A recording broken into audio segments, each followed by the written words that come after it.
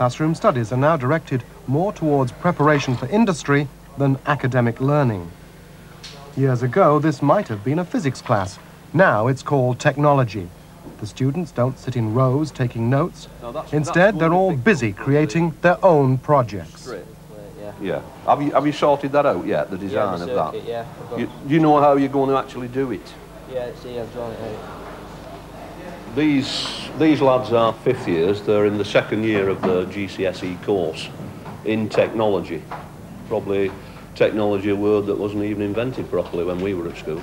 So uh, that's basically what they're doing, and this is all the coursework element that they're involved in. Coursework does, in fact, account for something like uh, 64% of the total mark for the course, the other being made up of the theory work of three modules that they've got to study. But basically, they've got to show evidence of, of their skills, both craft skills and the, uh, the theoretical skills, hopefully, that they've picked up in the, in the modular work. Uh, and uh, obviously, it's, it's a very important part of the course. Is this the kind of thing that people who are making their 14 plus choices might well experience? Yes. Yeah.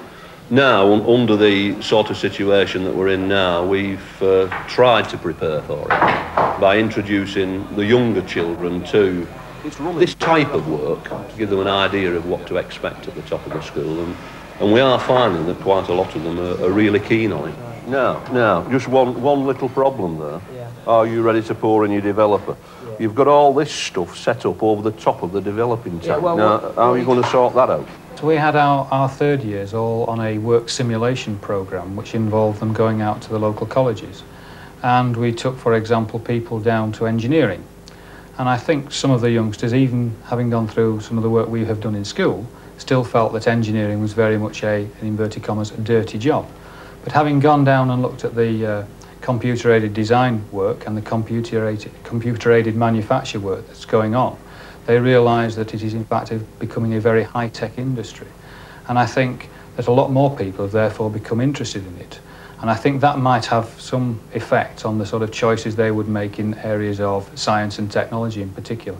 I think girls particularly realised that there were opportunities that were more attractive to them in those, sub, in those areas than perhaps they did at one time. In this class, the pupils are learning how to set up their own business. They're finding out about finance, cash flow, and VAT. What's new is that here the children learn by doing. They have to find out for themselves how to run a business, in this case, Lisa's unisex hairdressing salon, and stay out of the red. Well, say I wanted to set my own business up. Well, then I think out of this course, I've got like a lot more confidence than what I would have had before if I hadn't taken this course. And um, like we do all different assignments about sole traders and partnerships and limited companies, and with all that information, it'll help you um, when you leave school. Recently, we went to a bank manager in TSB up Atherton, and we had to phone up and make an interview, make an appointment for an interview. And then on, that morning, we took in a tape recorder, and we had to sit. It was very friendly. Offered us a cup of coffee, told us to sit down. So we asked him if he wouldn't mind taping the conversation. So we did. We sat down, and we talked a bit at first, just to get used to each other. And then we set the tape going, and then we asked him all the questions, and he answered them all very well, very detailed questions. Well, I think the teachers themselves have started to realise that there's a lot more to teaching than simply standing and giving information. In fact, I know that is the case. Um, there was a time when teachers talked and pupils listened. That is still there and is needed to be. It is, needs to be there to a certain extent, but increasingly teachers are actually becoming managers of the learning situation.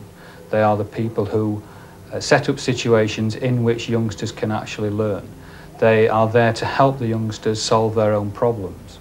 Um, and I think, and to encourage the youngsters to take more responsibility for their own learning situations. And I think that in itself is enabling the youngsters and the teachers to uh, develop skills which perhaps they didn't have at one time. I might add that I think the job is a lot more difficult for, for the teachers because no longer have they got everybody in the same classroom doing the same thing and no longer is everybody in the same classroom moving at the same pace. So the job in, in that sense is a great deal harder, but when we are successful, I think is also a, a lot more rewarding as well. Good work, Mr. Shackleton. 14-year-olds there learning at a tender age the realities of working for a living. Well, with us we have our Which Way panel. Let's introduce you again. Uh, David Moore, Granada's Education.